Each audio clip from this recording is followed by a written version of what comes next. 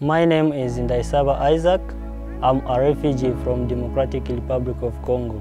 I work with Corans Initiative Development Organization as the executive director. Corans Initiative Development Organization started on 25th November 2021 with the fact that in Kyangwari refugees settlement we live in poverty and because of most learners complete their primary living examination and they fail to continue up with their studies in secondary school. Now we come up with the idea of supporting any child that is lacking the scholastic materials and lacking the school fees of continuing his studies.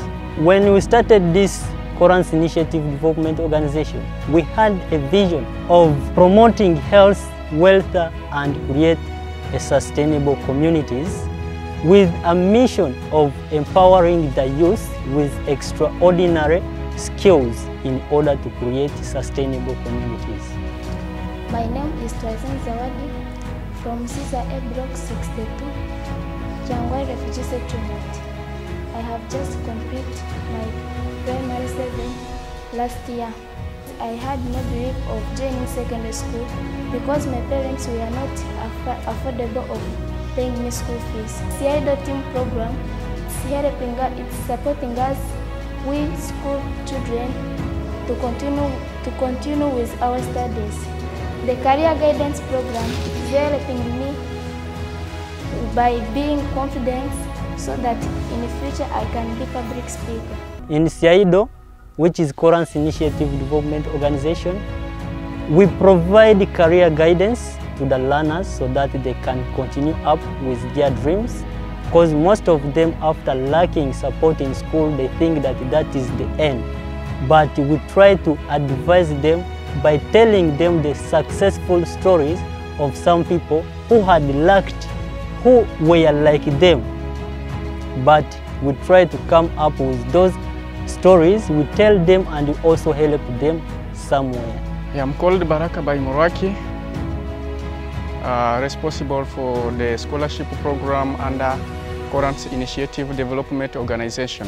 Due to the fact that uh, in most refugee camps, people have been suffering a lot uh, uh because of education, then uh, as we saw that uh, the way people are suffering, we went on and saw those problems people are having in the villages. Then we decided to try to link some of these uh, children to other uh, agencies who can support us to help these children to pursue their education system in secondary schools. Since most children have been dropping from schools when they complete their primary level, they have been dropping out of schools since their parents were unable to pay their school fees in the higher level of education. I am by the names of Jenna Priska from Kagoma village, block 8, and I last completed my primary 7 at Kina Primary School. And after completing my exams, I had no hope of joining secondary school because of the following reasons. My parents were unable to pay for me they had no enough money to afford. But for now, since I joined this organization, which is known as CIDO, we are gaining confidence, many things we are learning, which are bringing hope us. I learned how I can express myself in public. For now, I can be able to speak in public because of this organization. I could fear, I have that fear in, I could not trust myself, but for now, I do trust myself because of this organization. For now, I can speak in public, I can give a speech. One of the criteria that we follow is to get children from the families uh, who are unable to pay the school fees for their children meaning the families which are very poor. And uh, we also get children from single parents And we also get children from uh, the families whereby you find the, both of parents are not alive, whereby you can find a child is orphan and that child is uh, automatically uh, unable to continue with the education.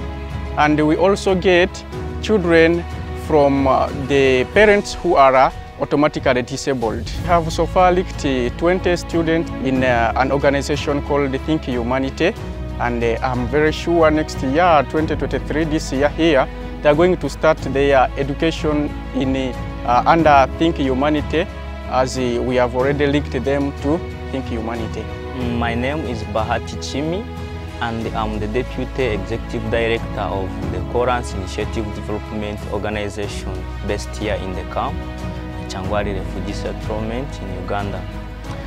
Uh, as of SIDO, Korans Initiative Development Organization, we have gotten very many projects of which include the learning, the SIDO learning program that includes the training, entrepreneurship and leadership. Then also we have training younger kids how to read and write. These younger kids who study in government schools but cannot, cannot really accomplish with the Uganda national curriculum that is difficult to them, hence they don't understand what the teachers give them. So we help them by interpreting for them what they don't know, by revising with them, we do whatever is, be is better for them to achieve their goals so that they remain in the mood of learning. My name is Owiman Simon. I am in primary six and I attend the CIDO learning program during holidays. I have benefited much in it. I was don't know how to read, but now I can read. I was don't know how to write very well, but now I can write very well. I was don't know how to to try to talk English, but now I try. I can try even to talk to someone in English. For that, I thank the organizers for this wonderful work. My name Bahemba. I am in P2 class. I can read and write. Because of this training, I am thanking CIDO. With the training for entrepreneurial skills and leadership, we make sure that these children are able to speak, public speaking, and also they are able to come back and create some projects at their own homes. My name is Habineza Jean Claude, the project manager of Corants Initiative Development Organization. I am a refugee from Kyangwari Refugee Settlement. In Corants Initiative Development Organization, we have projects that are enabling us to meet our vision. These projects are enabling us to meet this vision of self-reliant and, and creating self-reliant and sustainable communities. We have projects such as animal rearing. We began animal rearing in 2021, whereby we bought two piglets. Then after a certain period, they gave birth. After giving birth, we had to submit these piglets to the individuals in the community who can't afford themselves.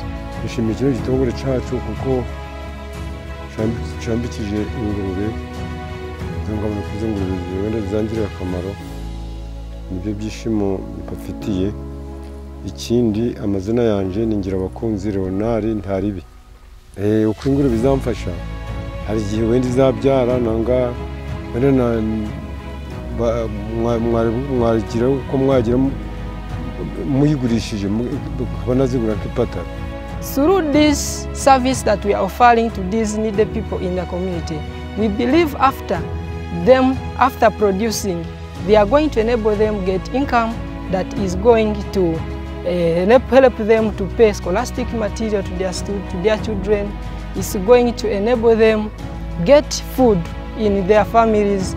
And at the end of all, we shall not have these children who are dropping out of school and also shall not have food insecurity in the families. We also have another project of crop growing. Currently, we have managed to hire land to some needy people in, the, in this settlement. We have uh, given land to some people and they are going to soon produce the crops. And after producing they are going to be able to get money that is going to pay scholastic materials. Is they are going also to reserve that food also for for consumption at home. Njemo muhawe aneti n'umugabo wanjye tubyaranye abana batandatu. None nabonye igitongore kiranyamba. Cyaranyambye kimaze kunyamba ndaho mfite narebye ubuzima bwa ntoki mu cyangware ndaho guhinga ho mbonye. Icyo gitongore cyaranyambye aho guhinga kugira ngo mbingire bariya bana kugira ngo bazabone induza inani amabuku go kugira ngo go kugira go kujana ku masomo. None nicyo gitongore ngikubitiye amashu So at the end of all, in our community, we shall not have the children that are going to drop out of school and also we shall not have food insecurity in the families. In the next five years to come, we are hoping to increase our impact with 85% with learners 3,000 in both nursery and primary school 1,000 students in secondary school and 1,500 supporting the community members with seeds and animals for rearing and also providing skills with community development.